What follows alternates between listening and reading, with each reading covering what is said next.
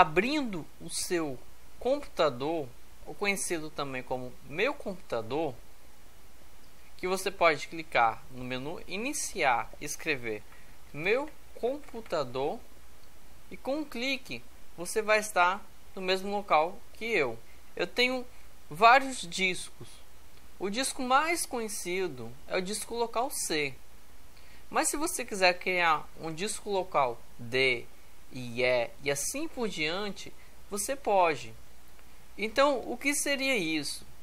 Isso aqui é o espaço em disco que eu tenho disponível.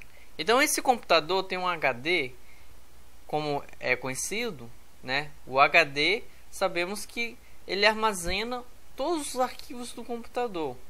Então, o meu HD tem 500 GB. Esse 500 GB é dividido entre essas partições, como são conhecidas. Então, se você só tem uma partição vendo no seu, você pode pegar um, uma pequena parte dele e dividi-lo.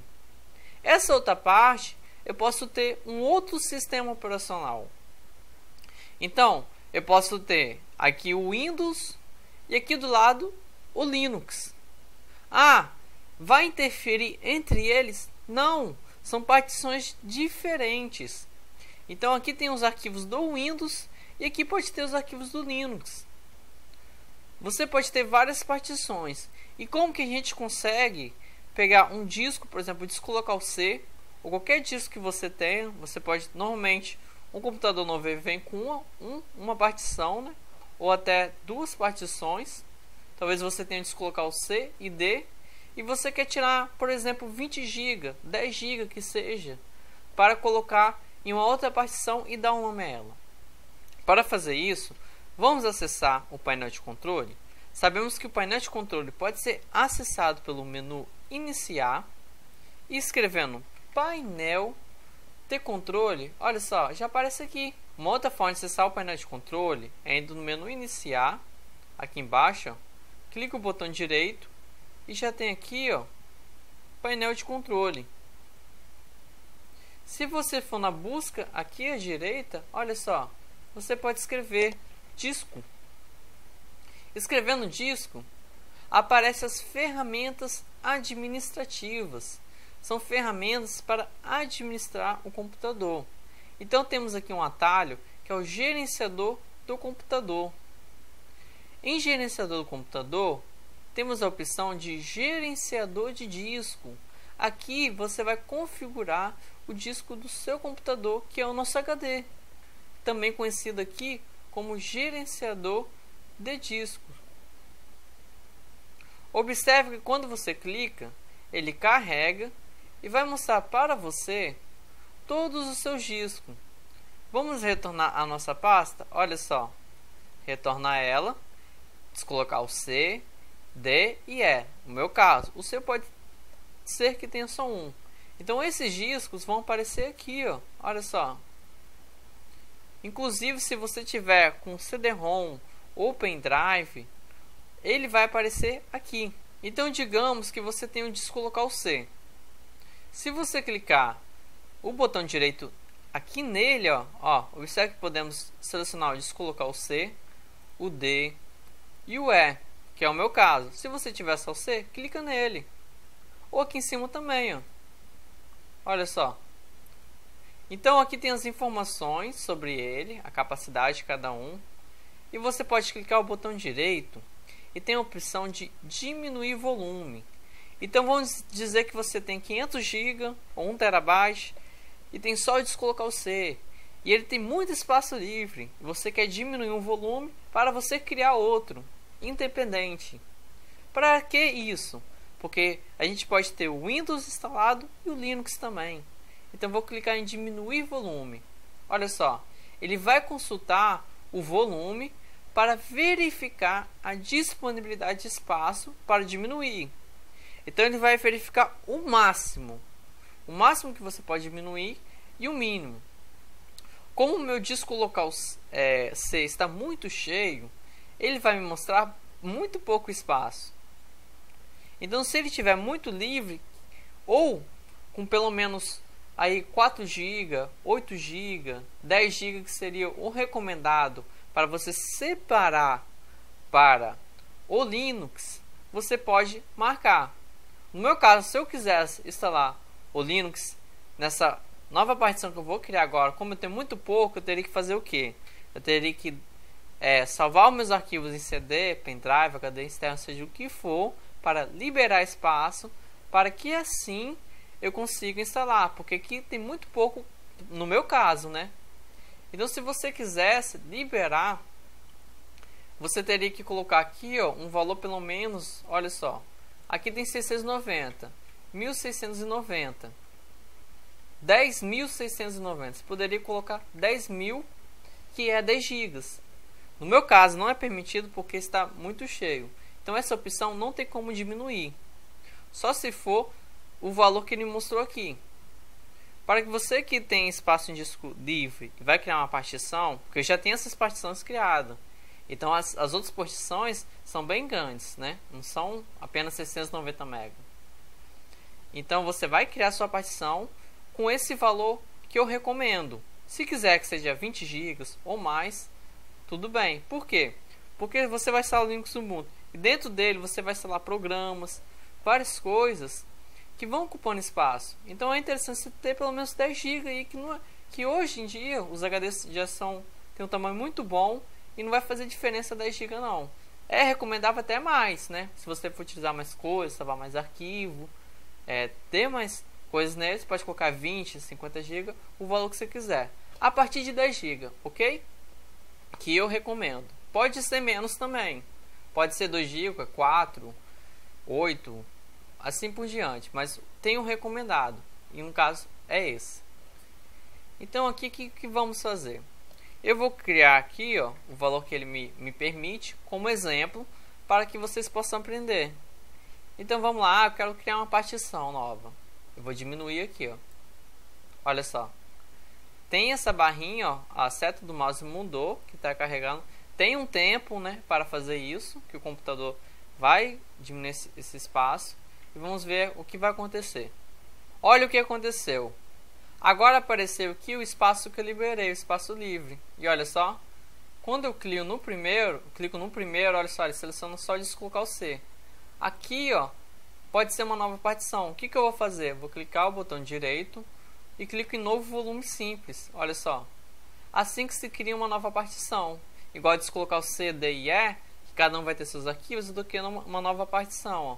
Eu clico aqui em avançar. Deixa eu ajeitar aqui, ó. Clico avançar e olha só. O tamanho, né, dele aqui no caso é 689 megas avançar. E aqui que é interessante, você atribui uma letra a essa unidade. E olha só, quantas letras a gente tem para escolher. Então, para essa nova partição, eu posso escolher qualquer uma dessas letras. Olha só. Por exemplo, pode ser R, de Rafael. Então, o que, que eu vou fazer?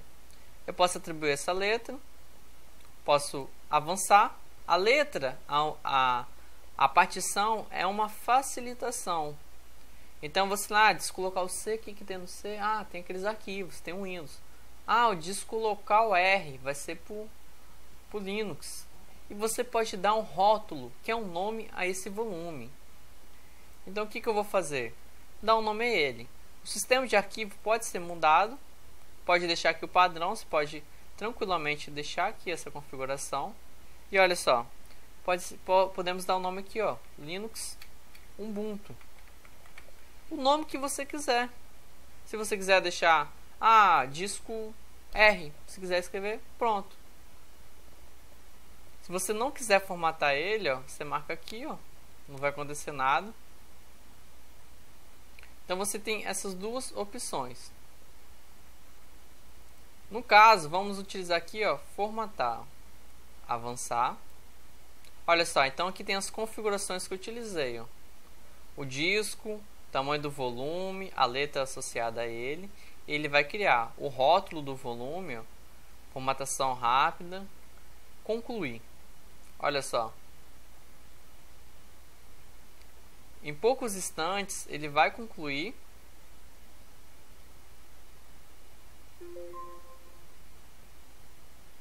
E olha só, aqui do lado ele me avisou que existe uma nova partição. Então ele foi criado e olha só, vou abrir minha pasta. E olha só, agora eu tenho que colocar o C, o D, o E e eu criei o R, que é para o Linux Ubuntu, como exemplo, para vocês aprenderem como criar uma partição. Então, nesse, nessa partição que eu criei agora, quando você for instalar outro sistema operacional sem deletar o seu atualmente, você vai lembrar, ah, ele está associado à letra R, ele tem um rótulo Linux Ubuntu. Então, quando você for instalar o Linux Ubuntu, vai aparecer todos esses discos e você, pela letra associada a ele, você vai saber. Ou pelo tamanho, caso não mostre a letra nem o rótulo, você tem um tamanho. Ah, eu queria um disco de 10 GB e eu sei que esse daqui é pro que eu criei agora atualmente. Esse outro de 30 GB ou C. Então, pelo tamanho, você sabe a diferença entre eles. E aqui, ó, em retornando ao gerenciador do computador, está aqui, ó. Se eu quiser desfazer essa partição, por exemplo, eu não quero que ela exista mais. Olha só, eu clico nela Cuidado, você não formatar outras partições. Você clica, ó, ó. Essa daqui, ó, aos traços aqui, ó. As linhas. Está selecionado essa daqui. O descolocar você não está selecionado, então tome cuidado. Eu vou clicar o botão direito e vou clicar em excluir volume. Olha só. A exclusão vai pegar todos os arquivos desse volume. Faça backup dos arquivos dos dados que você deseja manter antes de excluir. Como ele está vazio, eu acabei de criar, eu posso facilmente aqui deletar ele sem precisar fazer o backup. Então o procedimento é bem simples. Selecionado corretamente, ele vai excluir somente esse. Olha só, sim. Novamente, ele retornou para o estado de espaço livre. Então eu tenho espaço livre aqui que não tem que não é uma partição. Olha só, ele sumiu daqui, ó. Então no Windows, assim que a gente consegue criar partições e cada partição pode ter um sistema operacional. Então podemos colocar aqui isso aqui para o Windows, aqui para o Linux, isso aqui para até um outro sistema operacional. Se eu quiser que esse espaço livre retorne, olha só, o que, que eu vou fazer? Eu vou no descolocar o C, vou clicar o botão direito, eu vou clicar aqui, ó, estender volume. Então esse espaço vai retornar ele, ó. Eu clico em avançar. Ele reconheceu já aqui, ó, o espaço livre. Então esse espaço não está sendo utilizado, por isso que eu posso estendê-lo. Clique em avançar e concluir. Não é difícil. Você pode reversá-lo, que é bem curtinha, e você já vai gravar fazendo esse processo algumas vezes. E assim a gente consegue criar partições. Cada um desses é como se fosse um pendrive. Imagine que você tenha três pendrives. Um pendrive D, C e E. Então, quando você conecta esses três pendrives, cada um pode ter seus arquivos.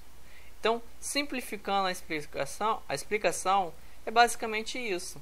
Conseguimos criar as partições, aprendemos a como diminuir um volume, né, uma, uma partição existente, aprendemos a partir daí criar uma nova partição com a letra que a gente quiser, com o nome que a gente escolher.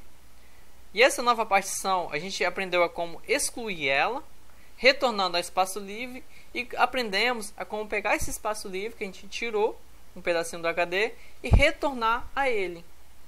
Então aprendemos tudo isso em poucos minutos. E agora é só colocar em prática no seu computador.